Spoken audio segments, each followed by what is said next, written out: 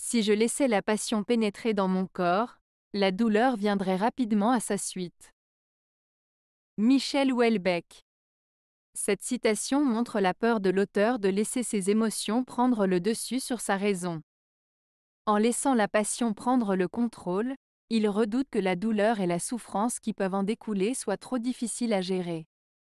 Cela peut refléter une certaine prudence ou une certaine réticence à vivre pleinement ses émotions, craignant que cela puisse conduire à des conséquences négatives.